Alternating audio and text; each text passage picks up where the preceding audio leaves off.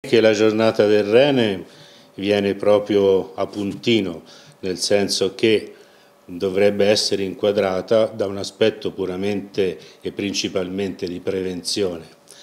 Questo perché? Perché noi in quella giornata eh, faremo due valutazioni molto semplici, la pressione arteriosa e un esame delle urine. Pressione arteriosa che sia alterata ci può già indicare una qualche problematica di tipo cardiovascolare, esame delle urine che, come si suole dire, se le urine sono lo specchio del rene, ci possono in, in far sospettare e indirizzare poi successivamente a tutta una serie di valutazioni. Mi riferisco in particolare alla presenza nel sedimento urinario di globuli rossi che possono indirizzare verso una patologia di tipo ostruttivo o anche eh, neoplastico, la presenza di proteine che in una certa quantità indirizzano verso una ipotesi di glomerulonefrite, la presenza di glucosio, che può anche essere la prima manifestazione di un diabete mellito non ancora completamente evidenziato. Quindi la prevenzione è sicuramente il campo fondamentale, anche perché dobbiamo considerare che purtroppo nella nostra realtà di terapia sostitutiva, quindi di dialisi, abbiamo dei numeri nettamente eh, importanti.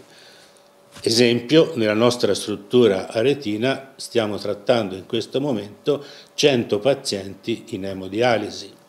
Ne abbiamo altri 20 in dialisi peritoneale, anche se poi abbiamo un discreto numero di pazienti trapiantati, circa 130, che vengono seguiti a livello ambulatoriale.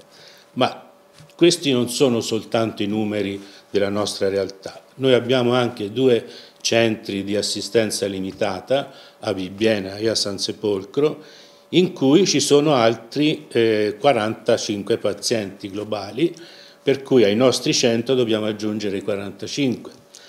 Abbiamo anche 5 pazienti in dialisi domiciliare e, ripeto, 20 pazienti in dialisi peritoneale. Questi ultimi due aspetti, la peritoneale e la dialisi domiciliare, rientrano in quella che è una politica, una filosofia eh, di eh, deospedalizzare il più possibile il paziente.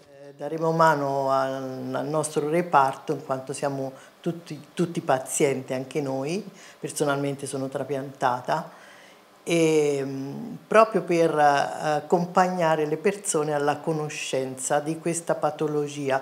È una patologia purtroppo silente, per cui molte persone neppure eh, hanno la percezione della conoscenza di questa patologia.